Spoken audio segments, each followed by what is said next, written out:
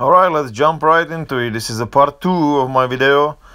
We ended last time I showed you how I build a box. This is how I wrapped with leather everything inside. I got a bunch of leather left over from my boat project. I was changing seats. This is the bottom vinyl that I put on, on the floor and you can see the beam on the top. This is how I'm wrapping everything with the leather. It's a, it's a you know leather for boating it's gonna be combination of white and black leather. And now let's think about the siding. Uh, I had a couple options. A lot of people use this uh, fake fiberglass. Some people use uh, the real fiberglass. You can buy a roll that it's the real fiberglass that they're using on a big RVs that was pretty pricey.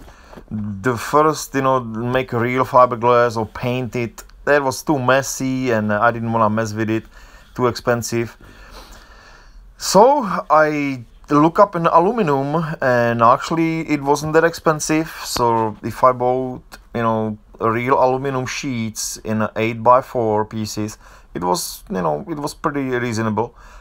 And plus it's gonna be the most best looking and very easy for maintenance. So that's what I decide. So I'm starting cutting the sides I'm using a glue, it's like a construction glue, Loctite, 3 times strength and uh, little nails just to hold it in place but the most, the glue doing all the job. And uh, here you can see me, a happy selfie with the mini camper. Cutting the hole for the back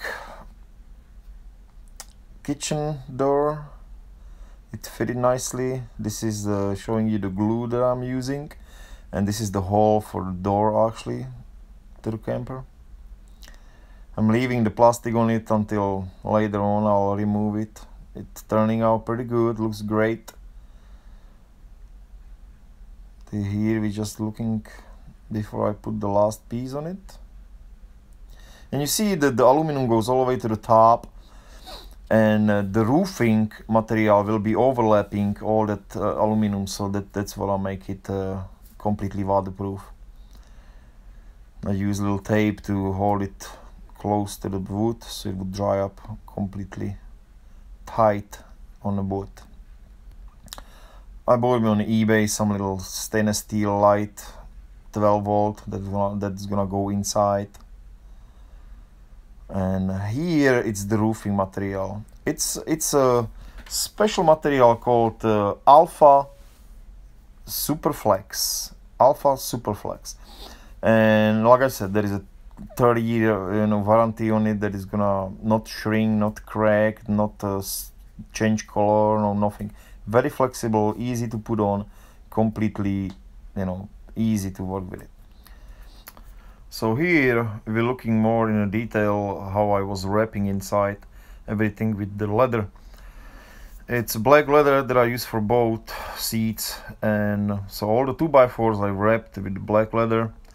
Here I got the isolation boards from Home Depot. I will use them, wrap them with leather and use them for siding inside. Here you can see I'm using rocks from a Gold River actually. You know, I got a bunch of rocks around that I bring every time I go to Gold Rivers. I use them like a weight to weigh down the isolation board and leather so on, until the glue dry up so I can use it. And we here have, have a first piece of the isolation with the leather put in the place. It's gonna look great. The combination black and white, it's very nice.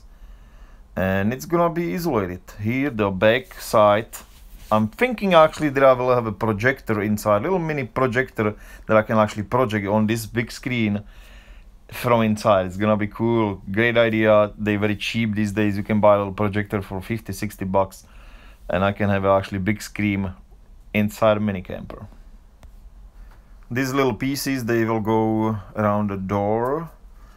So I was a little playing with the curves and gluing everything up so it would actually fit nicely and this is how it looks like from inside before I put the door there.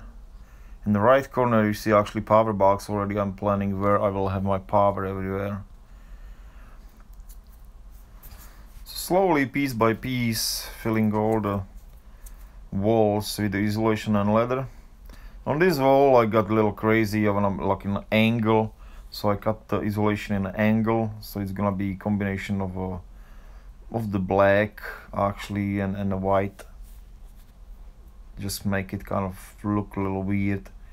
We'll see how that's gonna end up actually. Here I put the door in sealed it with silicone so there is no leak on it. And um, I took a little break I think I have to I did something else I have to move the camper from my driveway.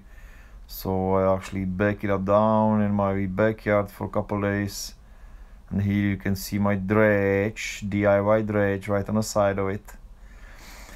And here is a little glimpse. I order more aluminum. This is gonna be the aluminum corners. And this is gonna be in a part 3 I'll show you how I put the corners in and how I completely finish it up.